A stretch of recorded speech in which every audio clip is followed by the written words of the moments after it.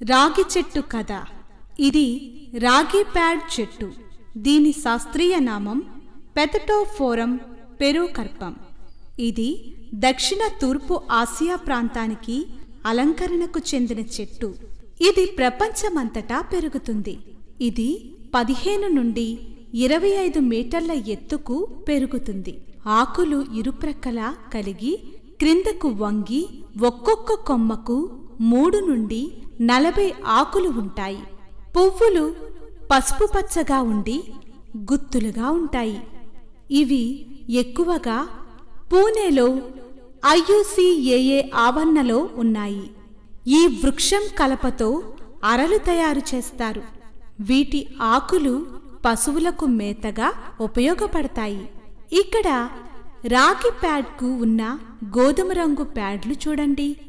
ఇక్కడ రాగి ప్యాడ్కు ఉన్న గోధుమ రంగు ప్యాడ్లు చూడండి. దీనికి ఈ పేరు రావడానికి ప్రధాన కారణం ఈ గోధుమ రంగు చారలే. అందుకే దీనిని రెస్టీ షీల్డ్ బేరర్ అని కూడా పిలుస్తారు. దీని ఒక్కొక్క గోధుమ రంగు కాయలో నాలుగు విత్తనాలుంటాయి. ఈ రాగి చెట్టు భారతదేశంలో ఎక్కువగా రోడ్డు ప్రక్కన గుల్మహారాతో కలిసి పెరుగుతుంది. ఎరుపు పసుపు పువ్వులు కలిసి ఎంతో అందంగా కనబడతాయి.